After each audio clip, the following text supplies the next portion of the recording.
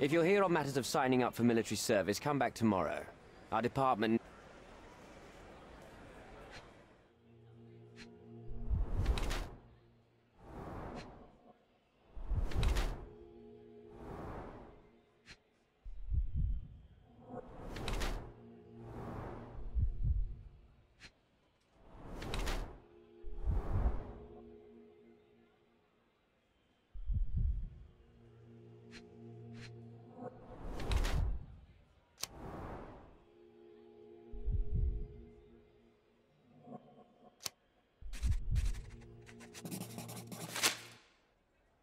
Why are you staring at me like I'm a Madame Tussauds figure?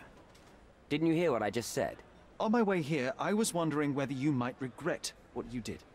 I tried my best to retain at least a shred of faith in humanity. I had hoped that you would hear her scream, see her face in your dreams, or at least once ask yourself how Nayla might feel. Who? Neither of my hopes were fulfilled. Why are you here? You defiled a girl who was with child. Don't even pretend that you regret what took place. Do you wonder why I came here? It is because I am disgusted. All right, all right. I've never written a single word to you. As you can see, I... That letter, it wasn't from you. So what do you want? Answers, to start with. Fine. I suppose now we have a nice long talk. Sherlock Holmes. Shame. Respect.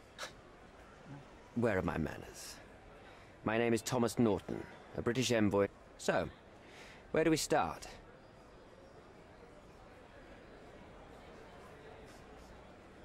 You mentioned... Or the... What does... So...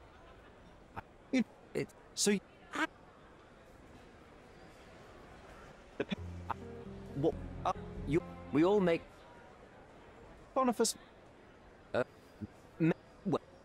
I don't... then, Mr. Holmes, I made a mistake. Rotting in prison is that you will make amends and help the ones you hurt.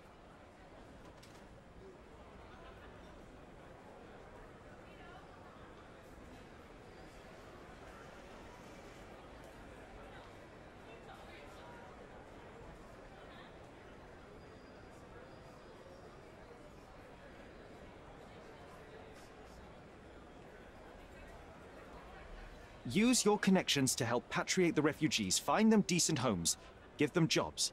Yes, all right. That's not. Nayla deserves the very ut. Help. And What makes you think you can decide what's best for these people? such is the arrogant.